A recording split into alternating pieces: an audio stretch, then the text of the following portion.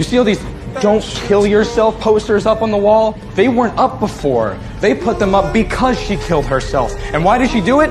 Because the kids here treated her like shit. Jensen, that's enough. But no one wants to admit it, so they paint over the bathrooms and put up a memorial because that's the kind of school that this is. Everyone is just so nice until they drive you to kill yourself. And sooner or later, the truth will come out.